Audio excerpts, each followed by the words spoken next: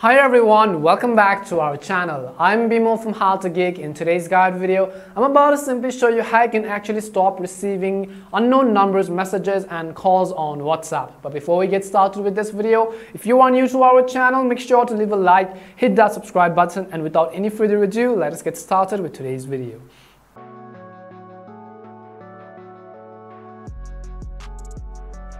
How to stop receiving unknown numbers, message and video calls on WhatsApp. In this video, we're about to simply discuss how you can actually block and remove the spam calls, notifications and messages and limit your account's privacy to as little as possible. So make sure to watch this video till the end. First things first, you simply want to make sure you have actually updated the WhatsApp application to the latest version. If you haven't updated it already, you can head over to your device's respective app store. In the search box, type in WhatsApp and if there is an update button button available go ahead and simply update the app to the latest version. Once you've actually updated whatsapp the next thing i'm going to do is to simply open it and the next thing you want to make sure is that you are logged in with your phone number or uh, your account.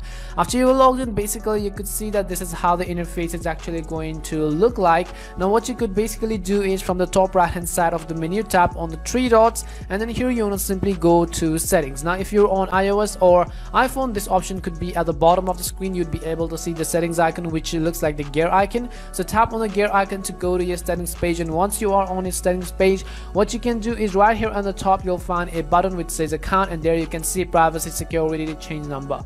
So what we can do is go to accounts. Once we go to accounts again you'll be granted multiple options. As we said before you want to simply select the first option which says privacy now right here this is the main page. Right here you can see who can see my personal info such as if you don't share your last seen you won't be able to see other people's last seen. So what you can do is currently last seen is set to nobody and if you want your account to be protected and private you could actually set it to my contacts or nobody.